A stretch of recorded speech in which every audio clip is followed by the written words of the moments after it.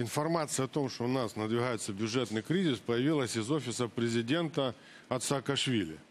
Какие там политические силы? Это с Банковой пришла, откуда все и начали, потом кинулись. Что ж на самом деле происходит? То есть это из офиса на Банковой дали такую информацию, что нас ждет беда. Поскольку лицо это, это политический турист у нас официальное, то все начали присматриваться, что же на самом деле происходит. А Что касается, э, на самом деле, ситуации, то мне кажется, что с теми вызовами, с которыми столкнулась сегодня страна, надо очень четко выделить приоритеты. О, Первый приоритет, конечно, это борьба с эпидемией. И здесь как раз приоритет должен соблюдаться очень жестко, потому что мы имели крайне негативный опыт, когда парламент проголосовал 64 миллиарда выделения на борьбу с эпидемией, а потом выяснилось, что офис президента принял решение направить половину денег на дороги, считая это эффектным способом пиара этой политической силы и самого президента, то, конечно, таких вещей не должно быть. А из-за этого страдают десятки тысяч людей. Вот сейчас мы проголосовали, по-моему, 9 миллиардов, 8,9 миллиардов на борьбу с коронавирусом. Последнюю неделю, по вторник, мы голосовали этот закон, и мы будем очень четко следить, чтобы он выполнялся. И в бюджете, который сейчас идет рассмотрение, мы тоже должны предусмотреть достаточно денег на медицину. Что- Что произошло сегодня с бюджетом? Почему люди говорят о кризисе? Потому что реально, ведь э, в регионах, в областях реально нехватка денег на медицину. Я сейчас даже остальные вещи не беру. Я сам был свидетелем нескольких больницах, как мне врачи говорили, что выделяют на лечение больного 6 тысяч гривен на весь курс лечения от коронавируса, хотя он в 10 раз больше должен быть. Этих денег реально не хватает.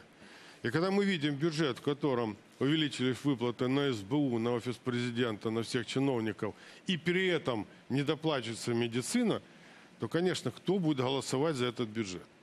Кто вообще, у кого поднимется рука, голосовать за бюджет, в котором не хватит денег на медицину?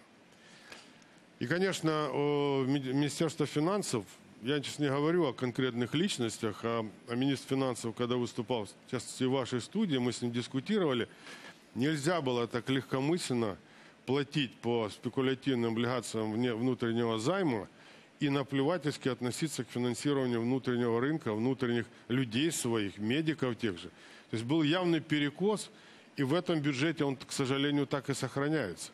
И мы, несмотря на то, что дали правки соответствующие, мы видим, что этот перекос есть. Продолжается приоритетность, вот внешние долги, там какая-то карма, это нас святое.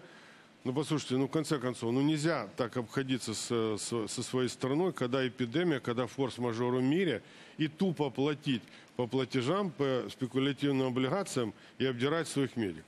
Вот в этом кризис. Денег, понятно, до конца года хватит.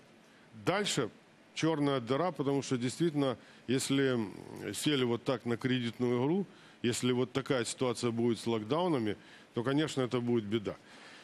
И второй очень важный вопрос, очень коротко. Значит, по ситуации с э, эпидемией очень важно сейчас не повторить ошибки прежнего локдауна, когда обещали и кредиты там краткосрочные и дешевые, и поддержку людям.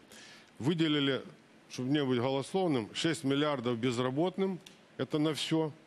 И из 13 миллиардов кредитов доступных 30% действительно были новые кредиты, остальные на перекредитование. То есть 4 миллиарда 5 кредитов и 6 миллиардов безработных. Вот и вся поддержка, которая была выделена в деньгах. Это ничего.